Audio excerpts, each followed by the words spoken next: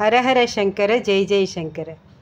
ஒரு குக்கிராமத்தில் முகாமிட்டு இருந்த மகா பெரியவாளை தரிசனம் பண்ணுறதுக்காக ஒரு மிராசுதாரும் அவரோட உதவியாளரும் வந்திருந்தா. அன்றைக்கி என்ன காரணமோ தெரியல. மகா பெரியவா அந்த மிராசுதாரரை கண்டுக்கவே இல்லை.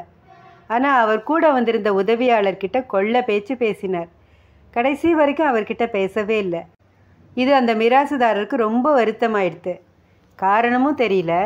தன்கிட்ட பேசாமல் இருக்கிற அளவுக்கு தான் எந்த தப்பும் பண்ணினதாகவும் அவருக்கு தெரியல. இருந்தாலும் யார் காரணம் கேட்க முடியும்? ரொம்ப வருத்தமாக எடுத்து அவருக்கு. ரொம்ப துக்கம் தாங்காமல் வருத்தத்தோடு பெரியவா கிட்ட விடை பெற்று போனார்.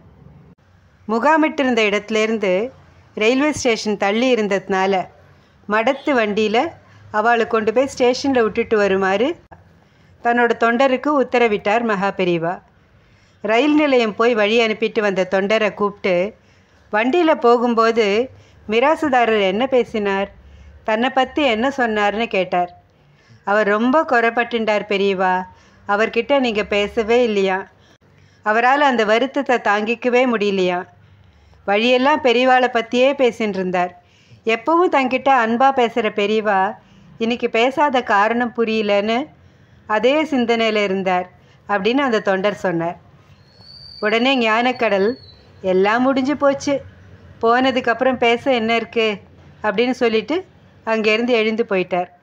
மறுநாள் கார்த்தால தந்தி வந்தது. அதில் மிராசுதாரர் இறைவனடி சேர்ந்துட்டதாக தெரிவிக்கப்பட்டிருந்தது. அதிர்ச்சி அடைந்த மடத்து சிப்பந்திகள் மேலும் பிரமிக்கும்படி பெரியவா சொன்னார் நான் அவனோட நேத்திக்கு பேசாததுக்கு காரணம் கடைசியாக அவனுக்கு என்னோட நினைவாகவே இருக்கணுங்கிறதுனால தான். நான் பேசாததுனாலேயே அவன் என்னோட நினைவாகவே இருந்தான் அப்படின்னு சொன்னார். எல்லாம் முடிஞ்சு போச்சு. போனப்புறம் பேச என்ன இருக்குது அப்படின்னு மகா பெரிவா சொன்னதோட அர்த்தம் அப்போ தான் அவளுக்கு புரிஞ்சுது. பகவான் கீதையில் கடைசி நேரத்தில் தன்னோட நினைவாகவே இருந்து உயிர் பிரிஞ்சா தன்னையே வந்து அடைவதாக சொல்கிறார் இல்லையா?